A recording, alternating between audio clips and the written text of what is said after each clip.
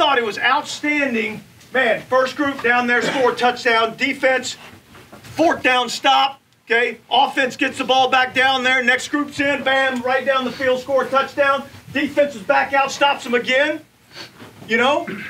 But then we started having self inflicted wounds. Okay? We didn't get our protection right. We had penalties, which put us way behind the sticks. You with me? We didn't execute some of our calls on defense very well. Let guys run free. You with me?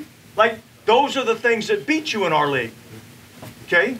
Now, look, great thing is, preseason game, we get a chance to learn from it. Okay? But we got to make sure that we don't let those mistakes compound, all right, and, and, and keep showing up because those are going to get us beat in the regular season. Okay? But listen, hell of a job, hell of a win. I like it, groupie. Yeah. All right? Yeah. Saints on three. One, two, three.